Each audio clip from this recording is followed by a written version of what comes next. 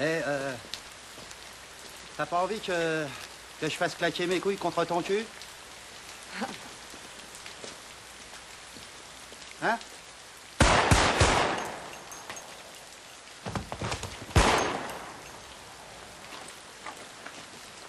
Fils de pute, va.